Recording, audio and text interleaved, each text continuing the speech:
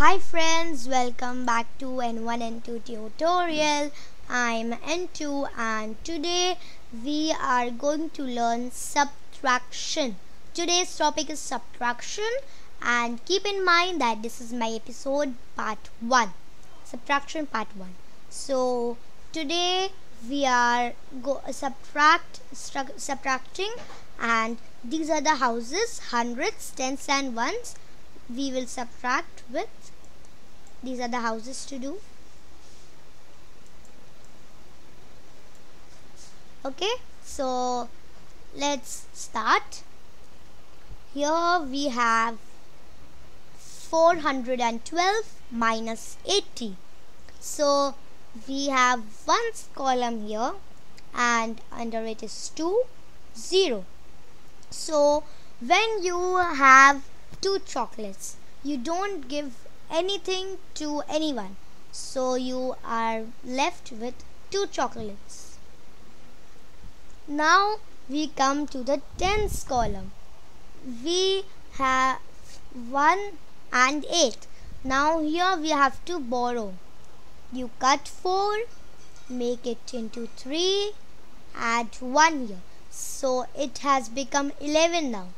And supposing you have 11 exercise books you submit 8 to the teacher and you are you are left with 3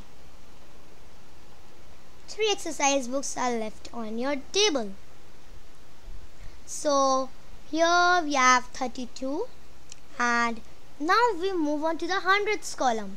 Note that when we have nothing to subtract with, nothing to give to anyone, so your answer over here will be 3. So it is 332 332 you are left with. So let's move on to sum number 2. Now over here we have under ones column 2 and 2 so uh, here Uh, you have supposing you think that you have two pens and then you use both two pens to write. So you are left with zero pens on your book or, or on your pouch in your pouch. So let's move on to the tens column. This is the tens column. And here we have 7 minus 1 7 su subtract 1 from 7 so uh, you have uh, you have seen 7 trees and then you see that there is one bird sitting on only one tree so six trees are left in which on which the bird are not sitting so the answer for sum number 1 is 332 332 for sum number 2 it is 6060. Let's move on to sum number 3.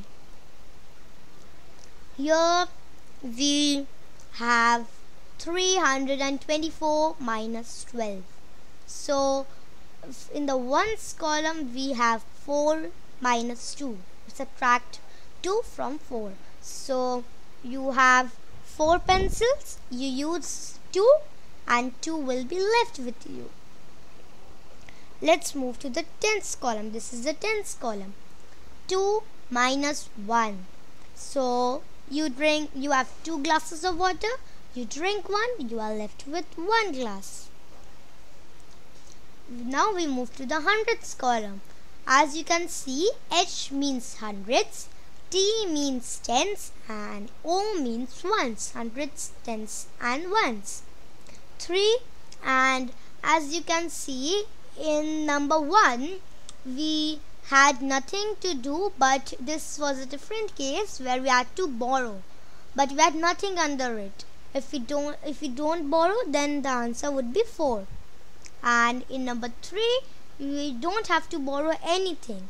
So over here our answer will be 3 only.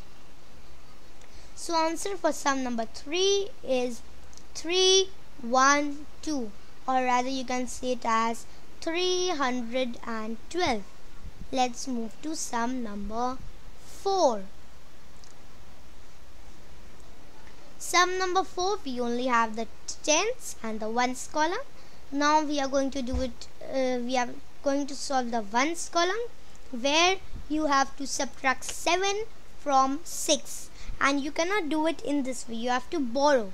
So you have you will cut 9 make it as 8 and add 1 in the ones column. So now you have to subtract 7 uh, from 16 so you are going to be left with 9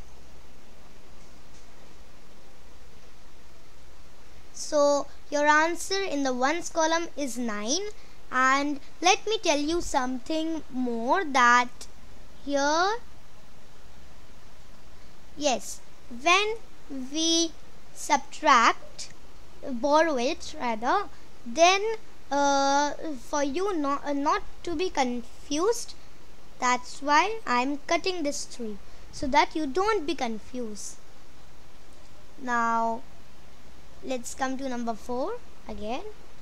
Here also we first do the sum and then we are going to cut so now we are left with 8 and 8 minus 8 will be 0 8 toffees you have you give 8 to another person you are left with 0 cut this 8 the answer for number 4 is 099 okay you will say it as 9 and you just write the sum oh, uh, in the sum 0 but you are not going to see it as 0 9 is the answer. You will see it 9 only.